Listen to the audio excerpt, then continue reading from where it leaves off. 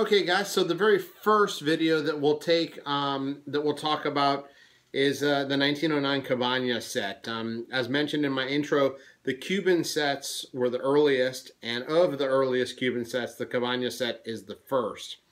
It is the uh, a set that was issued to commemorate the visit of the Detroit Tigers to the island of Cuba to play against a couple of the local teams, uh, Habana and Almendares.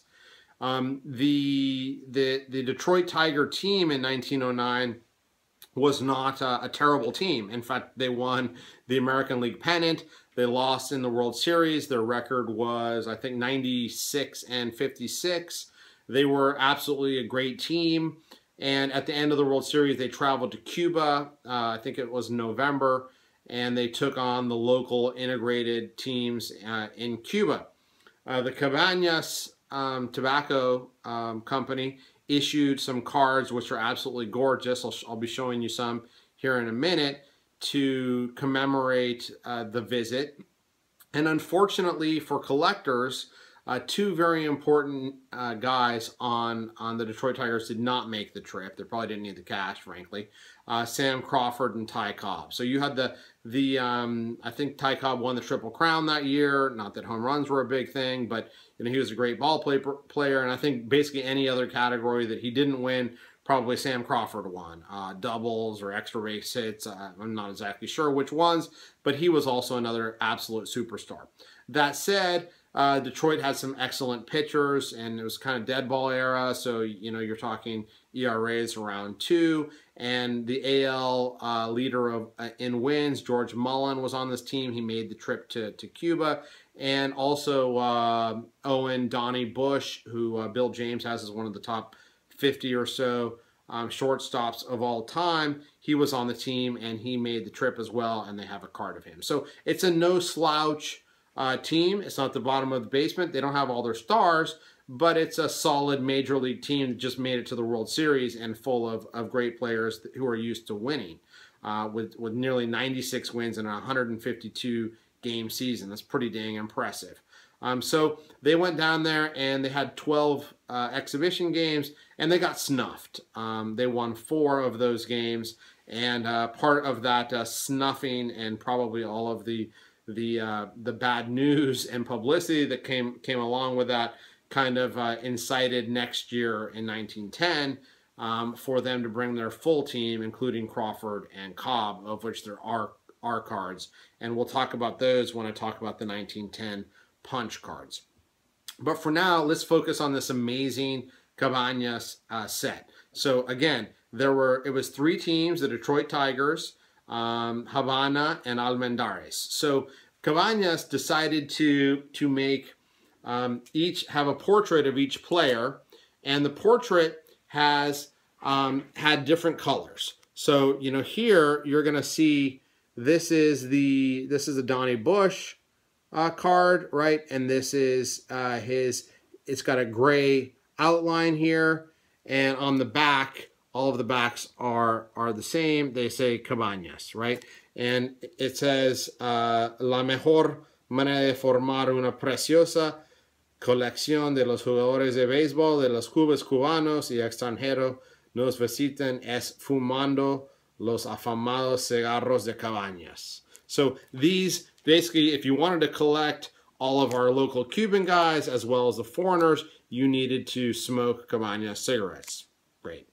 Not atypical for the time. Insert them in a pack of cigarettes. And these particular cards are absolutely just gorgeous. The colors, hopefully you can see that. I see some reflection here on the, the, the camera. But this beautiful gray with a portrait in the back. And again, the back, uh, this, this nice blue with the advertisement. And of course, you must uh, smoke cabañas if you're going to have a, a good time. So uh, of that, um, you know, I think the Detroit cards, you can go to my SGC uh, registry and check out scans of most of these cards. Um, so that the Detroit ones are, are this gray uh, color. The Habana ones are this beautiful red. Right, here's a Bustamante. Right, again, the backs are the same. I won't continue to show you those. Um, and then the the um, the Almendares cards are is this blue. Okay, so you'll get a little bit of reflection off of the uh, off of those. Couple other very important things uh, to tell you about these the, this particular cards is there's 31 individual cards in the set, and by far the most common ones you can find in the market are the Detroit Tigers ones and the Almendares ones. The Habana ones, for nobody really knows what reason, are pretty rare cards. In fact, many of them are one of ones, uh, meaning that there's only one known copy of them. And um, and unfortunately for collectors, um, those are some of the most important players because, uh, well, I'll, I'll, show you some of those here in a second. Um, as far as uh, grading and the the availability of these cards, up up through January of, of 2017, there were a total of 132 graded copies of all the cards co combined. No single card has, you know, I think more than seven, um, and a few have one and a few have two. As far as public sales in 2011, uh, a bunch of these were sold um, and, and they ranged from, uh, again, these are not superstar for the most part players. They range from, you know, 900, I think, to two to 3,000 per each individual card. Um, the one standout card that was uh, Habana's card of uh, Bruce Petway, I think went for something like 21,000. Um, and that was a pretty ugly card, honestly. It had a, had a lot of back damage. It was missing a, a piece on the back. So um, these are extremely difficult cards to find. Um, and they're beautiful and they're the first Cuban issue. And it also relates to one of the very first documented inter-racial uh, integrated versus a, a, a U.S. professional team um, that was very, very uh, followed both uh, in Cuba and the U.S. I'll also tell you there's a few other nuances of these cards. Some of them have two different uh, versions, two nameplates. So I'll show you an example here on the Bustamante card I so showed you a second ago. Here we have two Bustamante cards. They look the same, but if you look, you know, down here, you're going to notice that this one says Anguila, shortstop Anguila. Hopefully you can see that. And if you look over here, it just says El Bustamante shortstop. Okay, so basically what um, a few nameplates variations exist. Um, his nickname must have been was the eel and uh, and and that's why they put it on the card. A lot of a lot of times in Latin America, you wouldn't even know someone's name. They would just always call him by by his nickname or apodo. Um, so there's a few of those uh, specific things that that are going on in the set. Um, another one that I can show you is the the Tinta Molina, which where you have just Agustin Molina, which is his name, and then the other one, which is Tintin Molina. So, you know, th there's a few of these uh, variations. Um, could there be more? Sure. We just don't have that many copies in, in one specific place. But in addition to those, there are also some, some very key one-of-ones. And this one, Carlos Moran, was uh, a superstar of Asian uh, background. And he, uh, this is a one-of-one, beautiful card. Uh, again, you can see closer up scans on my SGC registry um, if you you know have have been out there. PSA I think has just a handful of these um, graded, very few. Luis Padron, who was also an absolute uh, superstar. Many thought that he was uh, the very first Cuban to uh, to play in the major leagues. I think he was invited to uh, a camp. There's there's not a lot of proof that this actually happened, but this guy rocked it, and he was he was an absolute superstar. And he this is the only known uh, card of him uh, besides uh, a punch that comes out in, in the following year. Again, there's 31 of these cards. I'm not going to show them all to you. I'll just show um, the other uh, and another important one of one, which is uh, Agustin Parpetti just an amazing, amazing uh, card. And these are just amazing. To see these in, in SGC 40, which is VG, is just shocking, right? You just don't see these types of cards uh, in this shape at all. Um, all this stuff is just unbelievable. And of course, you know, I don't want to um, to to forget about that. This is my Petway. Remember, I told you one one uh, sold before. This is my Petway. Sorry for the reflection there. Um, and it's an SGC 40.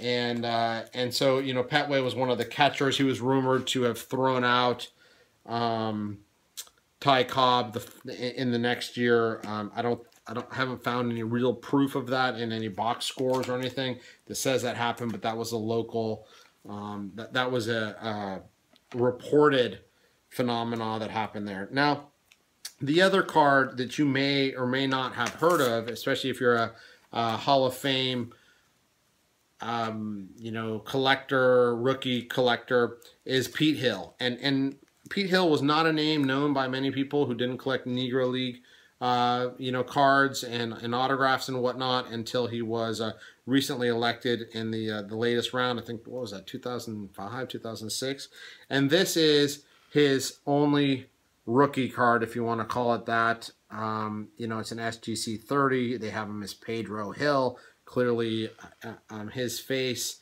There's only one copy known. So, you know, this is, you know, not to steal the fun, the thunder of all of these Negro League videos that we'll be doing, this is probably the second, maybe the first most expensive Negro League baseball card out there, uh, given that there's one, given that it comes from such an important set, and given that he is obviously a Hall of Famer this is a very, very key card uh, in, in my collection and in the Cabañas set. So, you know, the, again, highlights, 31 cards, Detroit Tigers missing a couple of the key guys, and uh, some amazing Negro Leaguers in, uh, in, in the Habana set. Um, the Habana set is much more difficult to find than the Almendares. In Almendares, we have uh, Rafael Almeida, who together with uh, Marsans are considered to be the first Cubans in the in the uh, in the in the major leagues. So that's a that's a great card, very very uh, sought after card. And um, and you know in general, you know they continue. Here's a here's another couple of the here's a Cabrera card, right? And the Cabrera here's one with his nickname El Pájaro. So are there going to be more more variations? I'm sure there are, but at least the ones that myself and other collectors that are in this particular space, uh, we've only found uh, four of those uh, nameplate variations for now. I'm sure there are more.